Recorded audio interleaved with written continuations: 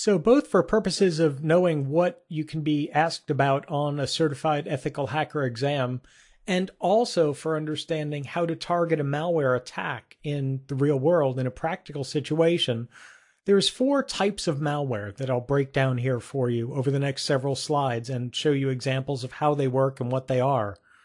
Trojans, backdoors, viruses, and worms. And for each, I'm going to give you some explanation of what it does, potentially how it's different from other types of malware, because sometimes there's not a whole lot of distinction or difference. Sometimes there's a piece of malware that overlaps all of these things, has some attributes of each and certainly attacking the target when you would select this type of malware to attack a target based on your goals.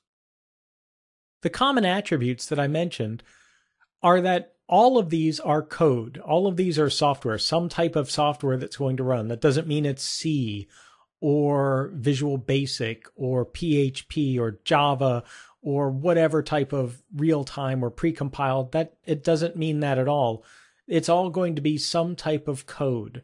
May not even be really executable. It may just be something that's interpreted by a service or a process, but it's some type of software. There's a difference between malware and some type of physical compromise, like, for example, a key sniffer or keyboard sniffer. They're all intended for malicious use. The mal in malware stands for malicious. So all of these pieces of malware I'm going to talk about are, are intended for some malicious use. However, some are crossovers where there are some tools that you're going to see that could be used for malicious use or legitimate use in a data center or, or an enterprise. And countermeasures typically are known for all malware types. So there's plenty of ways to block Trojans and viruses, plenty of ways to stop viruses, backdoors, worms, all that stuff. But that's not always the case as far as not consistent. Sometimes we've got an inconsistent deployment. Sometimes the systems fail, the controls fail.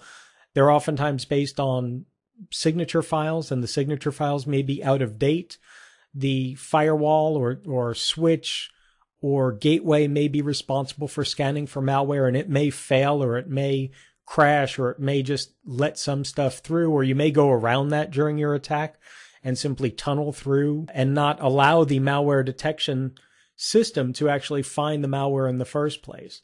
So there's all kinds of great countermeasures out there, but they're not always effective, which is why you're learning about this because it's always worth giving this kind of attack a try, especially if you do the footprinting correctly, know what might be expected or not expected, and also, potentially, you can compromise some of the countermeasures out there. You might be able to actually get users to disable a virus scanner or figure out how to shut down a firewall malware scanner long enough to get something through. Any of that kind of stuff is useful. So remember, these types of malware attacks do work in conjunction with all the other types of footprinting, enumeration, and compromise that you've got so far and that we'll have in the future.